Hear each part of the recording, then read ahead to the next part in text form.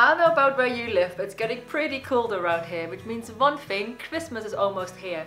To get us started making some handmade Christmas gifts, I'm going to show you today how you can make a timber Polaroid inspired photo frame.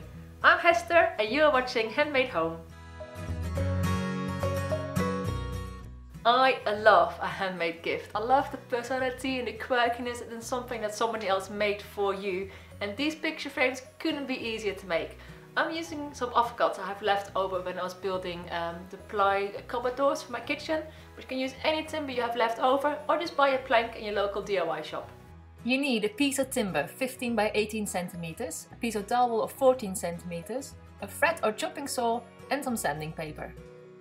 To mark where your photo will sit, I made a template out of some cardboard and it's 9 by 9 centimeters. Make sure it's center on your timber and you trace. Drill a hole in the corner of your square so you get somewhere to push the saw through.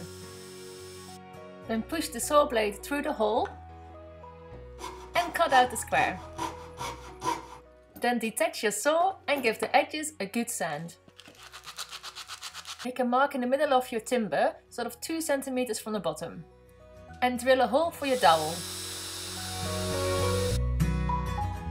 Give this a good sand as well.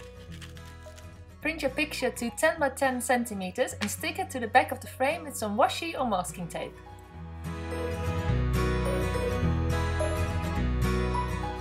Push the dowel through the hole and your Polaroid inspired photo frame is ready.